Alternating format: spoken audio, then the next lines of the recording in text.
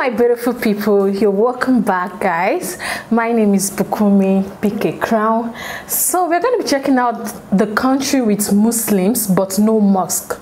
Wow. This first time i'm hearing this and i'm so curious to find it out. How come? How do they pray? You know where do they pray together? So let's check it out. It's not easy being a muslim in this european country there is not one single mosque here. Islam can't be taught in schools, and the 5,000 member Muslim community is not officially recognized. We are talking about Slovakia, where to have these rights, 50,000 signatures from adults from that religious group are needed. But the law wasn't always like that. Previously, just 20,000 signatures of any citizen of the country were enough to get state recognition. But in 2007, that was changed, so the group needed 20,000 of its own adult members to sign. Although Muslims form around 0.1% of the population, some MPs portrayed Islamization as a real threat while advocating for the law. Islamizácia začína kebabom a v Bratislave už beží a uvedomte si, čo tu môže byť o 5 až 10 rokov. In 2017, the National Council more than doubled the number of signatures needed, despite Slovak President Andrej Kiska's veto.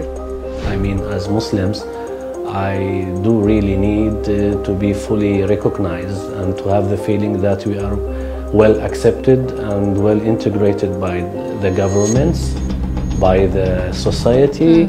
We as Muslims, we are citizens. We have, uh, beside our duties, also some rights.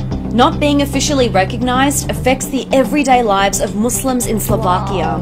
They can't have official religious leaders, perform Islamic marriages which would be equal to civil ones, nor can they receive funds from the government, unlike the members of 18 other registered religions.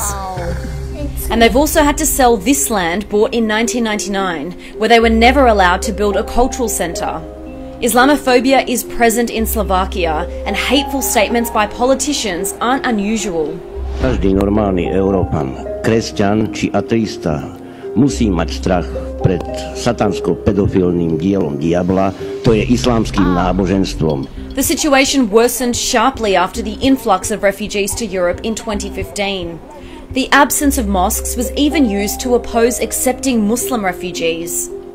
The politicians knew very well that they can spread some climate of fear by talking about Islam and refugees and also by knowingly and intentionally mixing those uh, topics. topics. In 2017, Islamophobia stopped spreading in society, but Muslims are still waiting for basic rights. Slovakia is a member of the European Union, which states that fundamental rights are guaranteed nationally by the constitutions of individual countries. But is this member country providing all of its citizens equal rights? Uh-uh. Wow. This is so surprising. But in the beginning of the video, I saw a group of people praying. I think that should be uh, maybe in their homes or maybe it's just some a private place you get it. But i don't know why they don't allow them to you know actually build a mosque there because a place of worship is needed so that everybody can communicate well to god. You get it? And i heard that um, there's other 18 religions in that particular country. Wow I'm shocked. Hey, I, I I will need to do more research on the countries because I didn't know we have a lot of religions out, out there, guys. Uh, one of the men they actually interviewed said, you know, they are not giving them that freedom. They want to be recognized. They want to be known. They want to have that freedom, freedom of speech, freedom of you know movement, and you know freedom of you know come worshiping God, you get it? And I, only God knows what actually started this whole thing.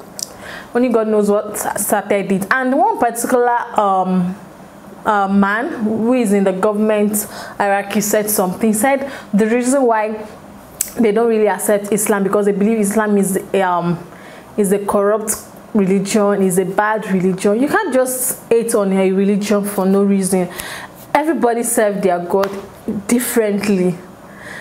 as an as a christian whether you are hindu christian you know muslim we all serve our god differently so the main thing is you know we we should worship god. That's the major thing. So i don't know right now because this video is actually old. Uh, i think it was released some years back. So i don't know the development right now in that country if it's still the same or now they are giving them the freedom you know freedom and they, um, they've started allowing them to build mosques. I don't know about that but i think i need to do research on that. But you know guys doing research sometimes is very hard because I, mostly react to a lot of videos so i can't actually go through all at once but hopefully if i you know come across something like that you know we'll watch it together and I'll know your views. So guys, let me know your views in the comment box. Let's keep this discussion going. What do you have to say about this? Is it right for them to actually, you know, um, is it right what they did to this citizen? Is it really right?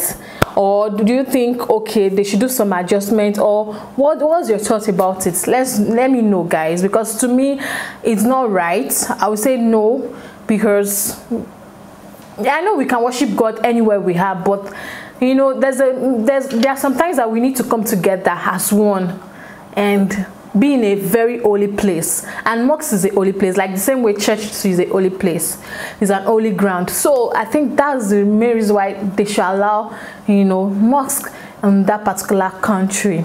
So thank you so much for watching guys. Don't forget to smash the subscribe button. For more like share and comment i'll see you in the next one